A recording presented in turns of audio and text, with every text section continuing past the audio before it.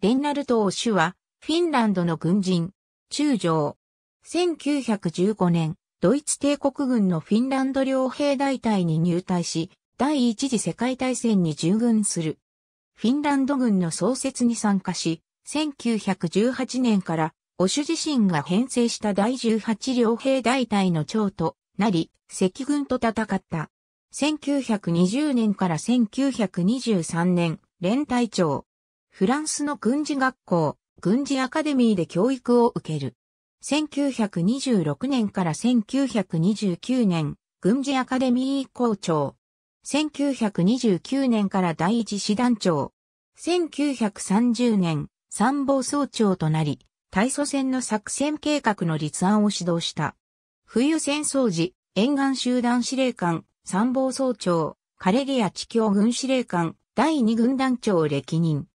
エストニア軍参謀総長、ニコライ・レイクと秘密会合を行う、オシュ1938年10月継続戦争では、1941年から1942年まで第4軍団を指揮してカレリア地境に展開した。1941年8月22日、攻勢転移し、8月25日ビボルグを包囲して8月29日に陥落させた。1942年から1944年、ラドガオネシュ地境に展開するオロネツ作戦集団の行動を指導。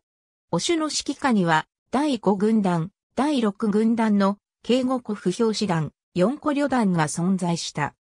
1944年6月14日から10月6日まで、カレリア地境軍司令官を務め、第3軍団、第4軍団、並びに、オロネツ方面から転移した第5軍団が押し湯の指揮下に入った。